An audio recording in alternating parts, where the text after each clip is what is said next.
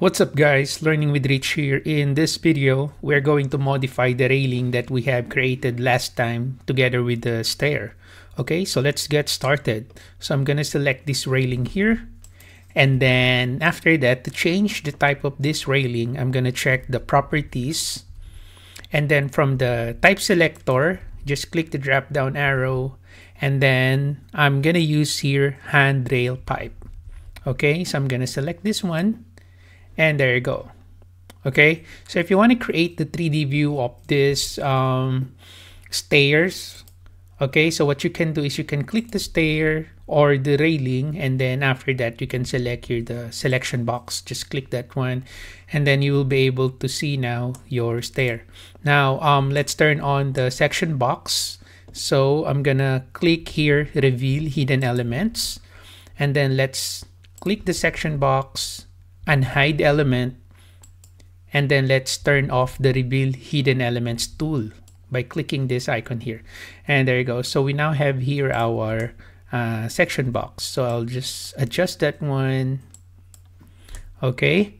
Now the next thing that I'm gonna do is I'm gonna change the type of the railing on our uh, landing stair on the landing area. So I'm gonna select this one and then I'm going to create a new type of railing so I will select this and then after that I'm gonna select here edit type and then let's select duplicate. And then after that I'm gonna call this uh, wall wall mounted railing. Okay? So I'm gonna select here OK. And then after that let me just uh, check here the rail structure by selecting edit. And then this is the current type. So instead of using a rectangular handrail I'm gonna use here a circular handrail. So I'm gonna select this one. And then after that I'm going to select here OK. And then OK again. And there you go. So it's now uh, circular right now what I'm gonna do is I'm going to modify the baluster of this uh, railing here. So the first thing that I'm gonna do is I need to load the family that I will be using for this uh, particular uh, railing or ballast uh, uh, railing for the baluster. So I'm gonna select here the architecture and then after that um, uh, I, I go to the insert here because I need to load the family. So I click load family and then after that, I'll just go to the work files, family. So I need to load this handrails. Okay, so I click one of the handrail, hold control, and then click the other two handrail, right? And then after that, I'll just select here open, and then it's now being uh, loaded to the project. So these are the family that we will be using for our uh, baluster placement okay? So the next thing that I'm gonna do since it's already loaded so I'm gonna select now the railing. And then after that I will select again the edit type to open the type properties. And then let's click the baluster placement edit okay? So just click the edit. And then you can now see here the edit baluster placement dialog box or window Okay, now for this one, for the main pattern, I'm going to change this. So instead of uh, handrail square, so I'm going to change this to handrail bracket. Okay, so I'm going to select that one. And then if I select here, uh, apply, and then okay, okay. So this is now how it looks like right? Okay, so let's furthermore edit our uh, railing here. So I'll select the railing and then edit type. And then after that, uh, baluster placement. So let's click this one. And then, all right, so here for the post, so I'm gonna change this. I'm gonna load the family that we have loaded a while ago. So I'm gonna select here uh, round with extension start offset. And then for the corner post, I'm gonna select also here the handrail, but handrail bracket. And then for the end post, I'm gonna select here uh, handrail round extension end. So I click that one. And then after that, I will select here OK again. And then OK. And then let's see how it looks like. And there you go.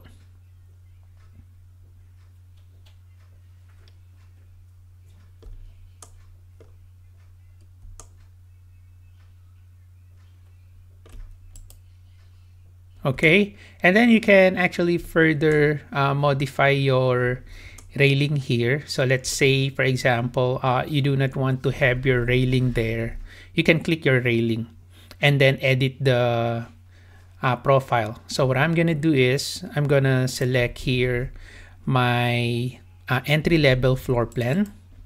So we are going to edit the railing uh, sketch. So I'm going to select this railing here. We click that. And then after that let's select edit path okay so I'm going to delete this railing here. We don't need that. And then since railing should be done continuously without a broken or uncontinuous line so I need to delete this and then recreate this uh, railing here separately. Okay because if I'm gonna finish this one Revit will not let me do that one because you need to connect these lines here. But since we deleted the line here so I'm gonna delete these lines here as well. And then I'm just gonna recreate it separately. So I'm gonna select continue and then I will select this sketch here delete. And then I'll select here check finish edit mode. Okay? And then after that let's check the 3d view. Just uh, ignore the warning. So this is now how it looks like. Okay right. Okay so there's just seems to be a problem there. So let me just edit again the sketch. So I will click this railing here. So where's my railing? Or maybe I'll just select that in the 3d view. Okay so I will select this uh, railing here and then edit path and then let's go to the entry level floor plan. So I don't need this. Okay? So that's it for that. And then I'll just select here check. There you go. So let's check this out in the 3d view. And there you have it. So it's now modified. So the next thing that we're going to do is we're going to create a separate railing uh, to this side here which is we're going to host to our stair here. Okay? So to do that, let's go back to the entry level.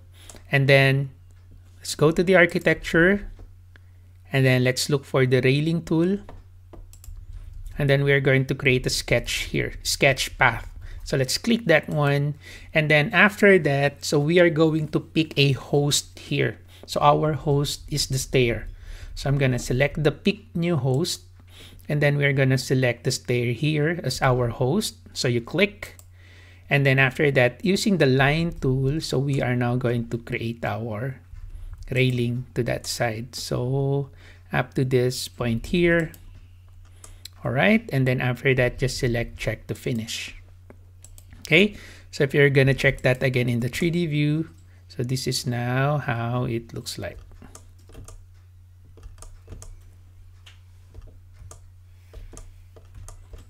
Let's click this one and then let's change the type okay so let's change that to wall mounted railing. And there you have it. Okay? And then what I'm gonna do is I'm gonna select this uh, railing here. And then I'm gonna edit edit type. And then let's change the baluster placement uh, distances. So at the moment it's uh, 0 0 3 8 so I'm gonna make this, let's say for example, half of an inch, one half inch, and let's see how it looks like. One half inch, and then let's select your OK, and then let's select your OK. Okay. So there's not much uh, difference. So, so how about let us change more distance. Mm. Okay, so how about I make it one? Make it one. Let's see how it looks like. There you go. Right, so you're able to modify the distance using that uh, option. Okay, so by selecting this the railing and then clicking uh, edit type, and then you can go to uh, baluster placement and then you can just play around with the spaces here. Okay, and then let me just put it back again. Oh, okay, so I think this one is 3 8 of an inch. I'll just copy that to the end post. Okay, okay. There you go. All right. So that's it. So basically that's how you modify your uh, railing. Now the next thing that we're to do is you can actually create your railing separately. Okay, so for this exercise, we hosted that in our stair. Okay, so now the next exercise that we will be doing is we are going to create our uh, railing separately from the stair. Okay, so if I'm going back again to my entry level here, and let me open the uh, second floor. Let's open up the second floor. And then I'm just gonna zoom into this area here. So as you can see this, this floor here. So I want to put, let's say for example, a guardrail. Okay, because in the 3D view, so this is how it looks like. So let me just click the section box, go back again to second floor, and then let's edit this one, the section box. So I'm, uh, I'm trying to create the 3D view of this particular area where we are going to place our railing. So you see it's kind of open there. So we want to put a guardrail, let's say for example, in this place here.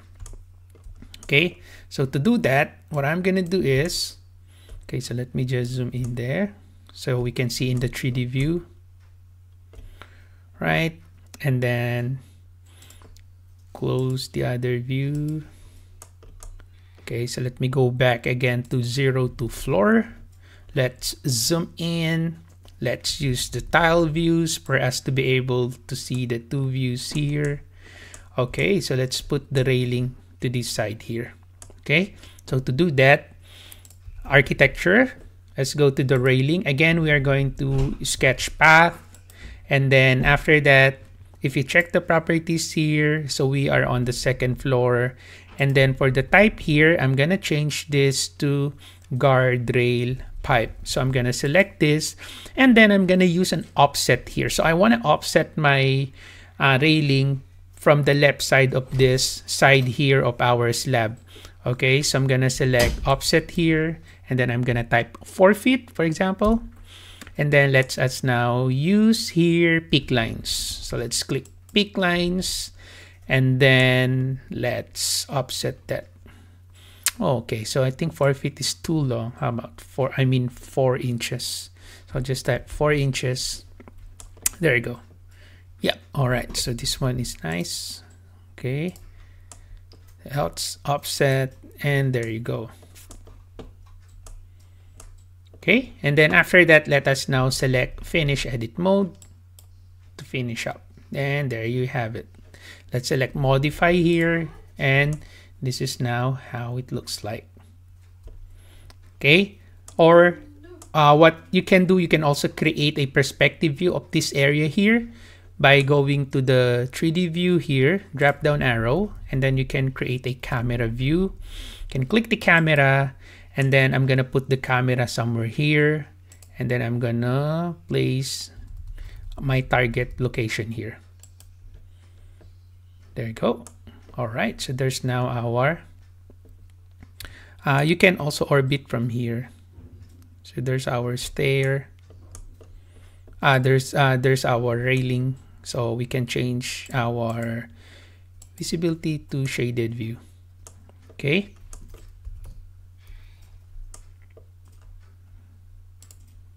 right. Okay, so basically that's the basic of how you modify the railing that you have created. So that's how you create your railing without the host. Okay, and then that's also how you modify the railing that is hosted to your stair. So hopefully you learned something from this video. Thank you for watching guys. Have a nice day.